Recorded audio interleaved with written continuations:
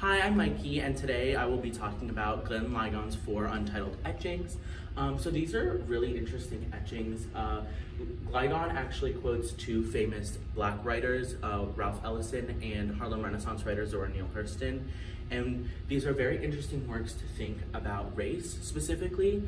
Um, firstly, uh, the quote of, I feel most colored when thrown against a sharp white background and that's repeated again and again. But then we have a, paired with two differing uh, prints that are talking about being an invisible man, so feeling, um, you know, black against a black background.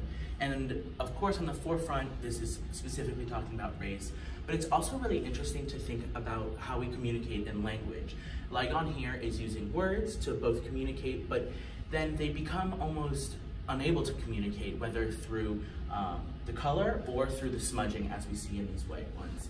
Um, also, these works have references to pop art, um, specifically the smudging in the prints directly relates to Andy Warhol's Marilyn prints where he intentionally smudged some of them and it's really interesting to see how that plays an influence in these pieces.